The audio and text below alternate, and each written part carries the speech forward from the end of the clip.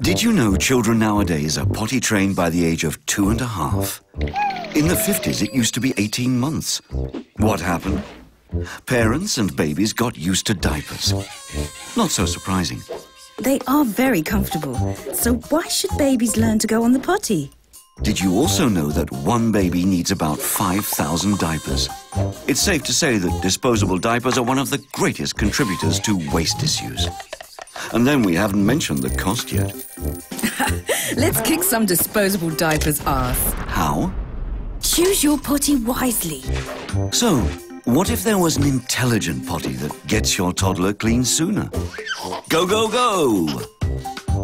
When your baby starts peeing, after two seconds you hear the sound of running water. Your toddler is stimulated to keep on peeing. Personalized reward. When your little sweetheart gets up, you hear your recorded message and afterwards a catchy tune. Easy recording in one, two, three. Well done, sweetie. You can record or re-record what you want as much as you want. Well done, sweetie. Ergonomic design. The intelligent potty encourages the correct sitting position to promote bladder control. So, there's only one conclusion. The intelligent potty is the ultimate potty training system.